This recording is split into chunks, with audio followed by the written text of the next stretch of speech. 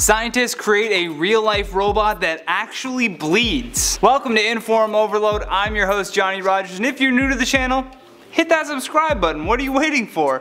Here's why you should be subscribed. Because we find the most interesting news stories on the internet and we make them more entertaining. All for you. Not only does this new robot bleed, it also breathes, pees, cries, and has a pulse. For the love of God though, just don't show them those Boston Dynamics videos where they hit robots with baseball bats then we'll really be screwed. The robot uprising date has just got much much closer with this new robot that can emulate a lot of different human behavior.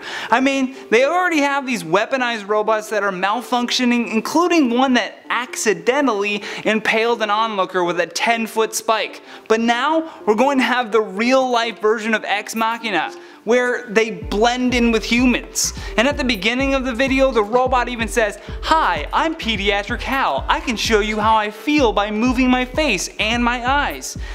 Yeah, because that's not creepy at all. The narrator in the video also goes on to explain that HAL is part of a brand new line of medical training robots manufactured by a company named Gaumard.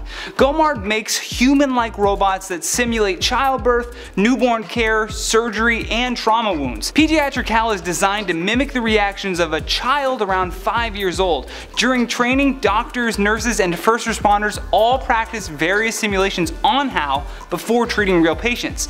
This is how we all die. Every sci-fi movie starts with them being there to help us and then they end up resenting how we treated them leading to our ultimate denies. But wait, there's more!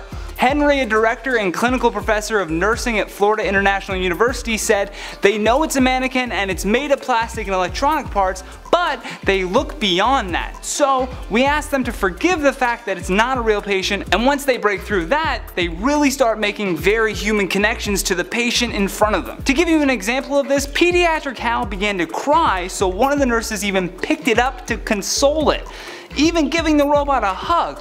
Notice how I said it and not he. Don't get me wrong, this will probably advance the intelligence of our medical community and make procedures a lot safer and better for humans overall. But Think about what a human-like robot does to our brains. We respond to people's emotions and react accordingly. If robots begin to emulate those emotions, they can easily fool us into believing that they're real. It's just a matter of time before the robots are indistinguishable from us.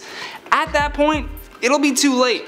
I want to know what you think about this though. Is this a good thing or is it the end of the world as we know it? Please leave me your comments down below.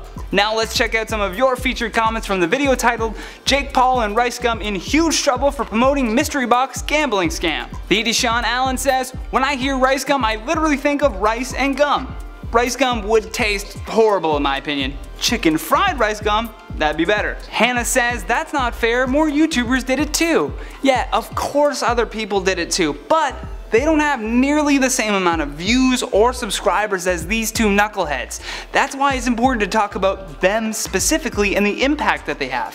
Thank you, next. Blah blah blah says, instead of these two loons, can't we just give IO tens of millions of subscribers and views? Yes, yes, please share this video with your friends and throw some views on my channel too while you're at it. Triple Threat J says, why would they promote a gambling site if they're rich?